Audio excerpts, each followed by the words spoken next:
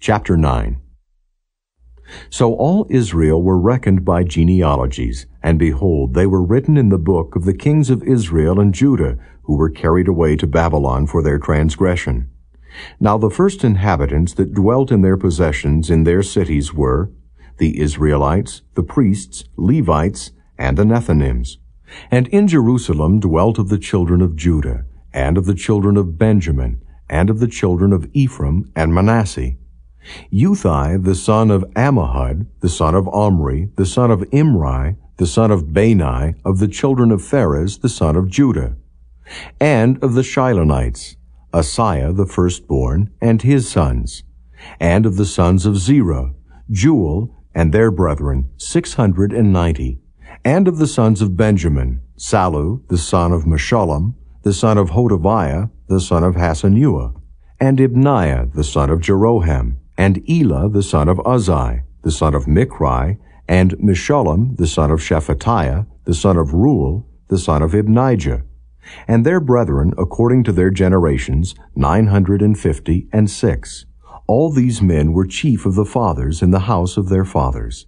And of the priests, Jedaiah, and Jehoiarib, and Jachin, and Azariah, the son of Hilkiah, the son of Meshullam, the son of Zadok, the son of Meraioth, the son of Ahitub, the ruler of the house of God, and Adaiah, the son of Jeroham, the son of Pashur, the son of Malchijah, and Maaseiah, the son of Adiel, the son of Jahzerah, the son of Meshullam, the son of Meshillemith, the son of Immer, and their brethren, heads of the house of their fathers, a thousand and seven hundred and threescore, very able men for the work of the service of the house of God.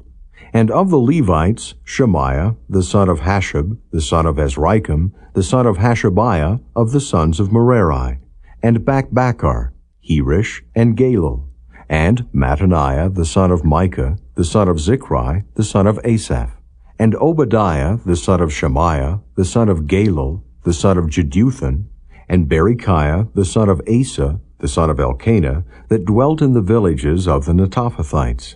And the porters were Shallum, and Akkub, and Talmon, and Ahiman, and their brethren.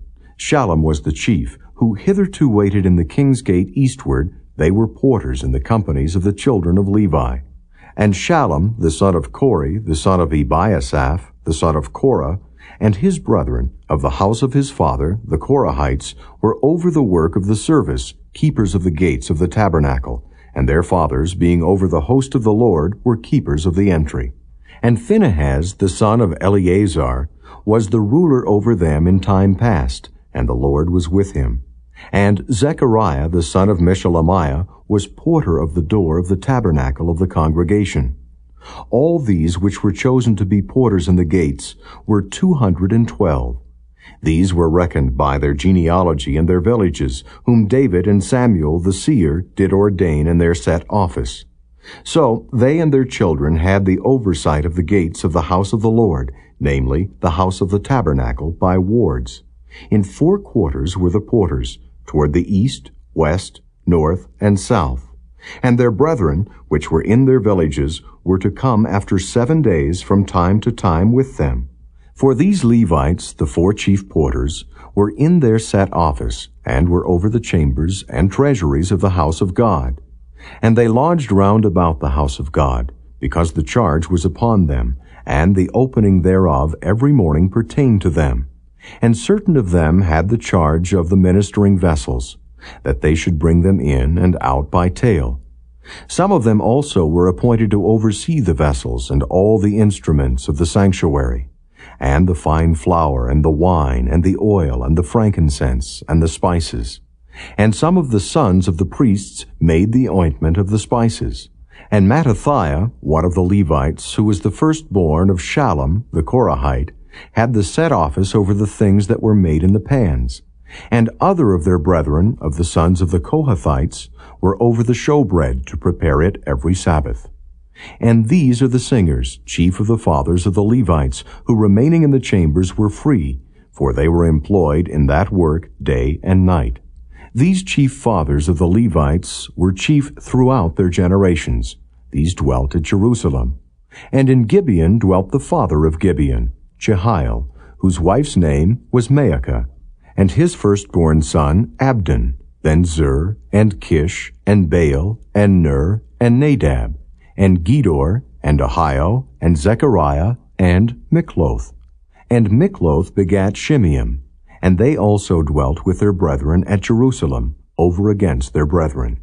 And Ner begat Kish, and Kish begat Saul, and Saul begat Jonathan, and Malchishua, and Abinadab, and Eshbaal. And the son of Jonathan was Merib-Baal, and Merib-Baal begat Micah.